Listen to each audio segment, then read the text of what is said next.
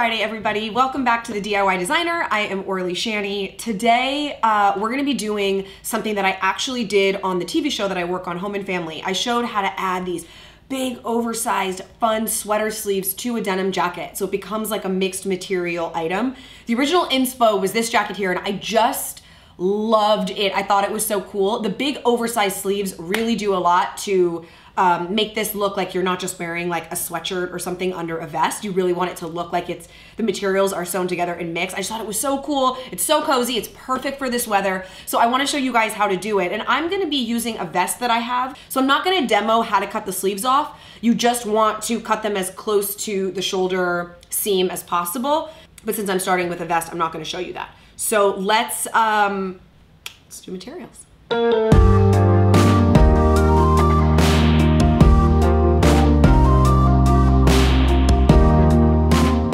when you go shopping for your sweater, the, the main thing you wanna focus on is really long sleeves. So look in the like men's section is probably where you're gonna find the best oversized, really long sleeve sweaters.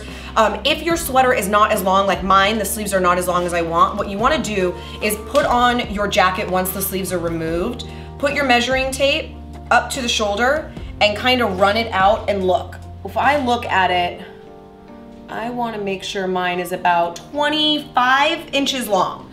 So I'm gonna measure my sleeve as it is now from the true shoulder, and I'm only 21 and a half.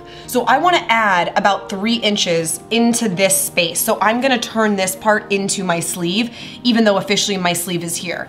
If this is enough room for you, you're just gonna remove the sleeve and you'll join us in a second. I'm going to add in a little extra, so this is how you would do that. Take off your vest, and put it on top of your sweater, just like this. I wanna be 25 about. I might go even longer than that. I'll go right here to 26. So let's make a little mark.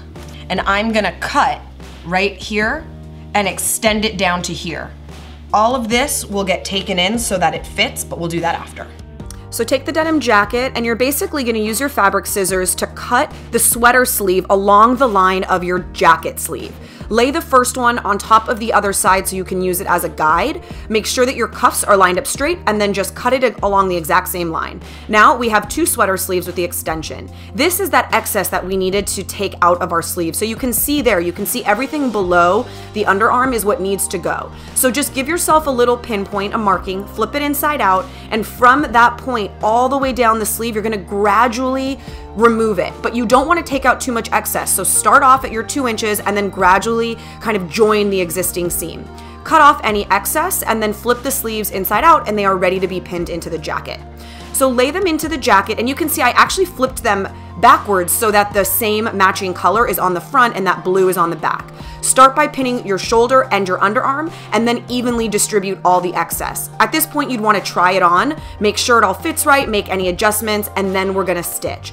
Now, the existing stitch line is what you wanna follow, that way you don't even notice it. So swap out your thread for a matching color and just keep that needle right on top of the old stitch line so basically you don't even see it. Now cut off any excess. I have a little bit because when I tried mine on I needed to pin out a little bit. So I cut off the excess, remove my pins, and I'm good to go.